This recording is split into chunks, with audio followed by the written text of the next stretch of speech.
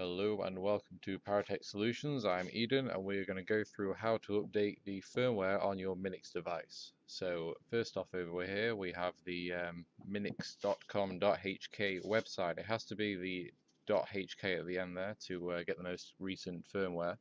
Um, head on over to uh, support and resource, go to the download page and here we are and then you find your most recent firmware. So we're going to be using the X7 Mini today um, and as happens uh, it's the second down the list. Um, if you're looking at a review um, around this date, um, it could be pretty far down because there's been loads of uh, loads of updates for the X8 series, so it could be second or third page. Um, that's not a problem. So we'll just download that and uh, save it to the desktop or somewhere that you're going to remember. Um, uh,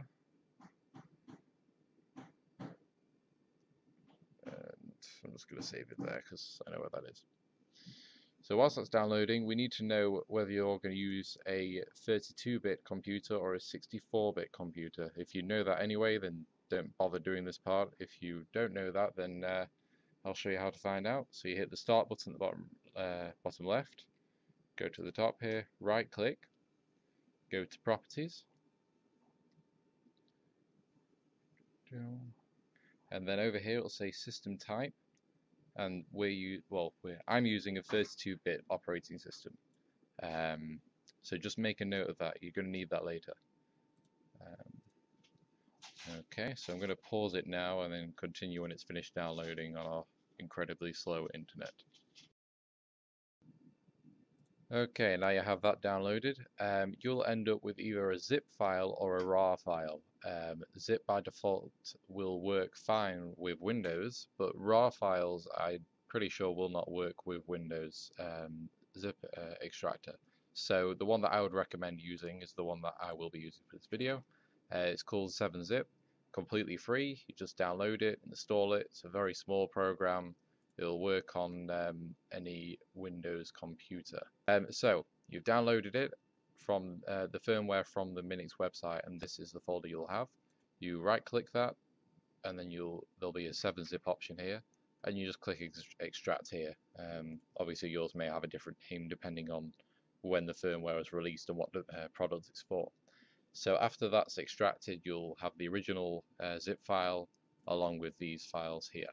So the next step is to attach the Minix um, and I'll flick over to the camera now and show you how to plug in the Minix so that it's in recovery mode. You can't just plug in the USB, it has to be in the right way or the computer will just not see it. Uh, okay, here we go. And this is how to connect the uh, X7 full size. It will work exactly the same for the X5 full size and the um, both X8, X8 and the X8H. Um, it works slightly differently to the uh, minis.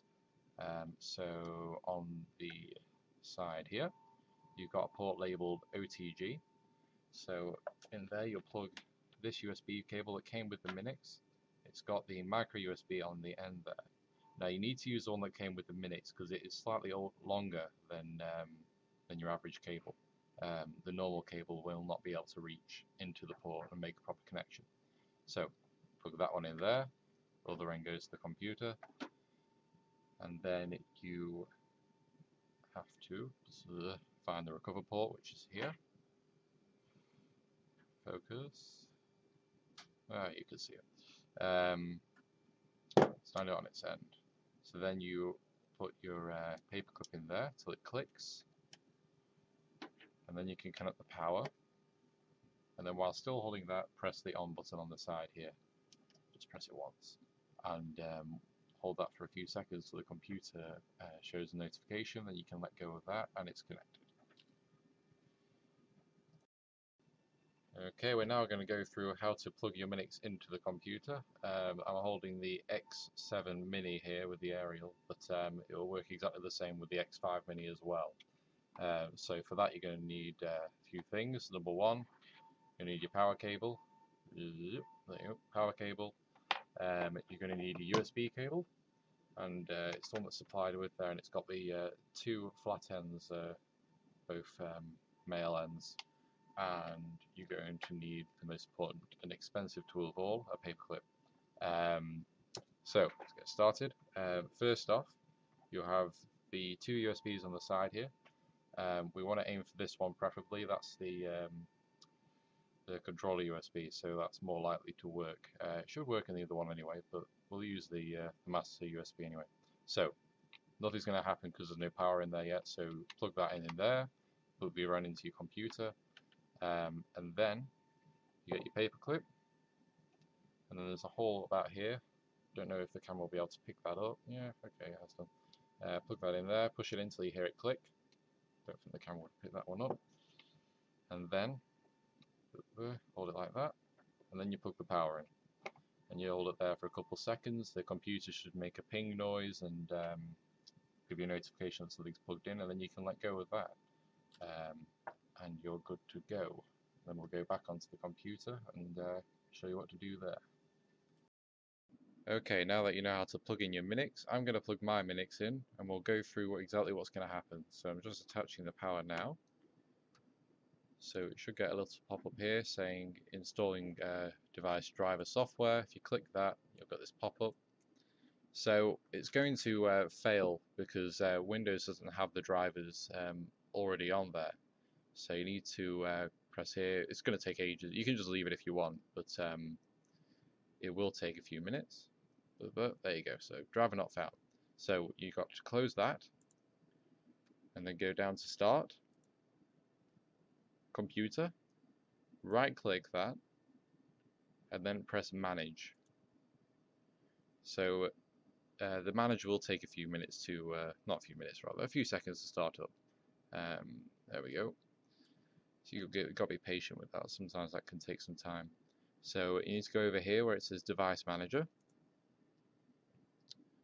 And then you'll have over here saying unknown device.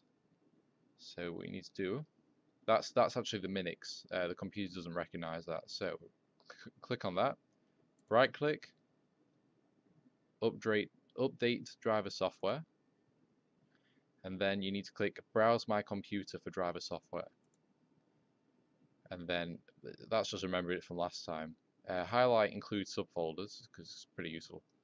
Press browse and then you need to go to where you downloaded and extracted the firmware before. When you downloaded it from the Minix website, and then you um, extracted that RAR file, which is over here in the background. Um, and then, so on my computer, it's uh, it's on the desktop, and then Minix for Mini, and then this, and then you need to go into Neo underscore driver assistant, and then driver, and then I'm running a 32-bit operating system which is called on this x86 32-bit is x86 64-bit would be the x64 that's just how things work don't question it. And then go into um, either just highlight whether you're Windows 7 Windows 8 or Windows XP so I'm using Windows 7 press OK. And then that's the link there. Press next and then it's going to take a few minutes to install the software. Um, it will ask you permission because uh, Windows doesn't know what um, Rockchip is. That's the internal um, chip maker, if you will. Um, just press uh, install. Give it a few minutes. And there we go. Um, Windows have successfully updated your driver software and it's called Rockchip device. There's no logo for it, so you're going to have a question mark, but that's not going to bother you ever. So close that, um, now it'll be classed under a Rockchip USB device. Uh, it's no longer an unknown device. So you can close that. So now we are going to update the firmware. Okay, now that's all set up, we're going to um, install the new firmware onto your Minix device. So to do that, we're going into the folder that you extracted from the website before, from that RAR or zip file. Um, there'll be a flash tool here, We'll click that. And then the RK batch tool. One, at the moment it's 1.7. Uh, it'll probably be a newer version by the time you uh, you see this video. Um, might ask for uh, admin rights, just press yes and it'll open. So here you go. So this green box here is the Minix. If you're not seeing the green box, it means that either the Minix is not connected. Uh, so just go back and retry installing the um, drivers. So once that's there, so you go up here, press the uh, button there, and go back. It's probably like it's defaulted here because it remembers it from last time. You'll either be put on my computer or my desktop. So go to my desktop, find the folder where you um, downloaded and extracted the firmware. Uh, these folders back here. Um, so for me, I put it in a folder called Minix X7 Mini. And then the top folder is firmware. Open that. And then this is your firmware. So just press open, that'll import. Now this is a very important part, you never press upgrade, that will brick the device. You can then just repeat what we've already done, but um, upgrade will never work. Um, up to this date anyway, they've, they've not made any mention of uh, implementing that. You have to press restore. So I'll press restore and you can watch it going in the background, but um, just to let you know, this is going to wipe all of your data, all your applications, um, app, uh, know, pictures, videos, music, everything is, is going to be like factory conditions. Um, so you can see here it's uh, running through all the different checks. Flashing yellow means it's doing something. Um, and you can see you can connect up to eight devices. It's going to take me a while because it's uh, it's downloading uh, a few extra uh, bits of firmware and the internet is pretty bad here. So I'm going to pause it and uh, continue when it's finished downloading. Okay, so uh, it finished downloading, it did a firmware check which also took a minute or so and then it finished installing it. So after that's finished the Minix is going to reboot which means it's going to launch like like a normal Minix. It's not going to be plugged into the computer as far as it's concerned even though it's still plugged in. Uh, you've not held down that reset button with the paperclip so it's just booted like normal. Um, so that's why it's not coming up here. So it's it's normal for it to disappear once it's finished um, doing the firmware update. So um, I would leave the Minix for a good 10 minutes or so because on its first boot up it's going to be rearranging its internal folders and such. It could take a few minutes so I'll, I'll leave it for a good 10-15 minutes just to be on the safe side. Um, and then you can uh, unplug it from the computer, unplug the power, and then plug it into a monitor and um, you should be good to go. That's the end of the tutorial. I hope that you got everything you needed out of it. If you did, good job. Get some wine or some chocolate or something. You did a great job. If you didn't get what you needed, don't be afraid to get in touch. Here is my email address and phone number. Always here to help you. Until then, have a good day from Parotec.